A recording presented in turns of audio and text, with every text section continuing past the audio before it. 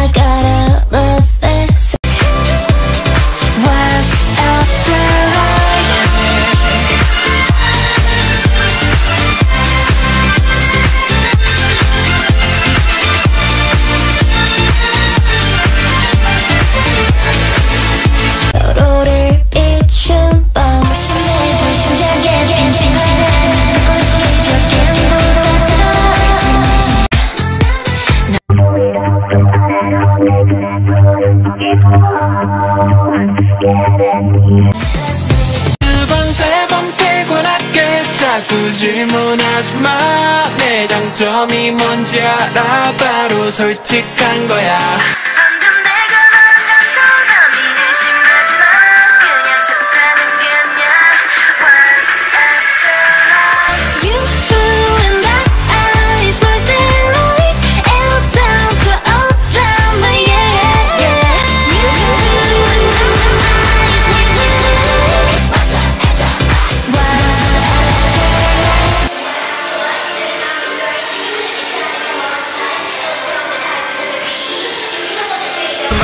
나를 보면 눈 깜빡